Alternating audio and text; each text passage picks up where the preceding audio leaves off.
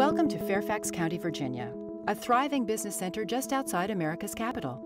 And welcome to Tysons Corner. Ideally located at the midpoint between DC and Dulles Airport and bisected by the Capital Beltway, Tysons Corner is home to more than 6,800 businesses and 120,000 jobs. It's Fairfax County's largest commercial district, and it's headquarters to Fortune 500 companies, tech leaders, large professional services firms, foreign owned firms, and a thriving community of small, minority owned, woman owned, and veteran owned companies. Tysons Corner is Virginia's largest office market and one of the leading business centers in the U.S., with 26 million square feet of office space. Here, the power of ideas comes to life every day with a diverse and highly educated workforce. In fact, more than 60% of Fairfax County residents aged 25 and over have a bachelor's degree or higher.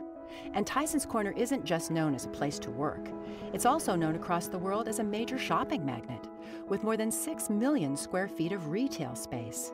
Fairfax County envisioned a more walkable, more urban, and more accessible Tysons Corner, and it's happening. Metro's Silver Line includes four stations here, connecting it to all the cultural and business opportunities of the National Capital Region. This vibrant area is also close to two national parks, Wolf Trap and Great Falls. The Fairfax County Economic Development Authority wants to help you learn more about the Tysons Corner area and all of the benefits of locating your business here.